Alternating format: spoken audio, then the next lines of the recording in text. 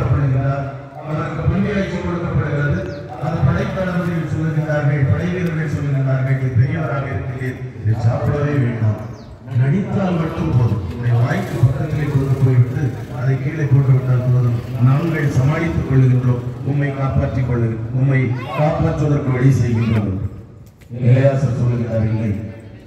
இத்தனை வயது முதிர்ந்த ஒருவர் இத்தனை வயதான ஒருவர் இன்னும் வாழ்வதற்கு ஆசைப்பட்டு கடவுளுடைய கட்டளைகளை மீறினார். கடவுளுடைய கட்டளைகளுக்கு எதிராக இருந்தார் என்ற அமைச்சொல் எனக்கு ஏற்படுவதை விட சாவதையே விரும்புகிறேன். என்னுடைய சாவு இந்த நாட்டினுடைய இளைஞர்களுக்கும் இந்த நாட்டில் இருக்கக்கூடிய ஏனைய யூதர்களுக்கும் ஒரு படிப்பினையாக இருக்கும் என்று சொல்லி மரணத்தை அந்த மரணம் மரணத்திற்கான கருவியை நோக்கி நடந்து சென்றார் என்று வெளியே பதிவு செய்கிறது.